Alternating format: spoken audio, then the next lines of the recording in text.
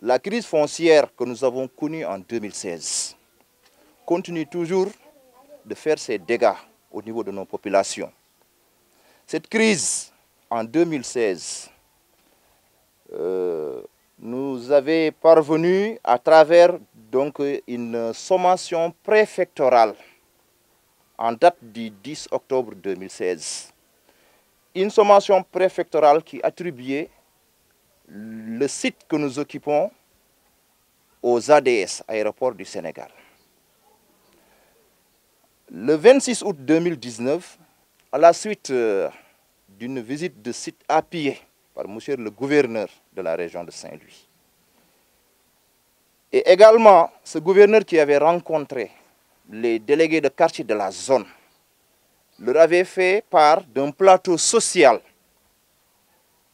de la part de l'État, à savoir la délocalisation de l'école de Kharial dans notre site, la construction d'un hôpital dans notre site, ainsi que la construction de marchés.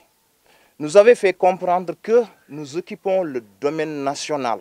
Déjà, on avait constaté à partir de ces deux déclarations qu'il y avait des errements de la part de nos autorités sur l'appartenance exacte de ce site nous nous sommes réveillés le 7 octobre passé et nous avons constaté que des forces de sécurité quadrillaient notre zone.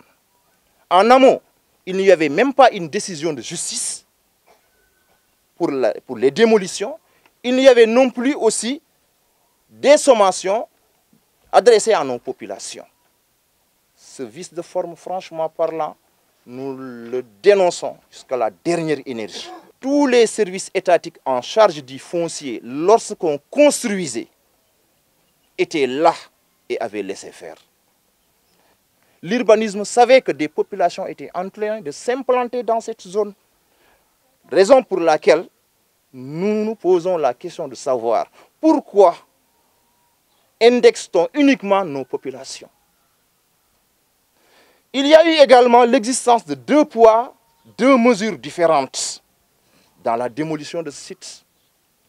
Nos braves populations ont vu leurs maisons réduites en cendres, alors que du côté de l'ancienne piste, entre l'ancienne piste et la route qui mène vers Bango, qui, qui se trouve au milieu toujours du site, qu'il y a des vergers occupés par de gros bonnets qui ne sont pas inquiétés. Le cas de Fanaïdjeri, avec saine huile éthanol, ces populations avaient dit niet à un projet de 186 milliards.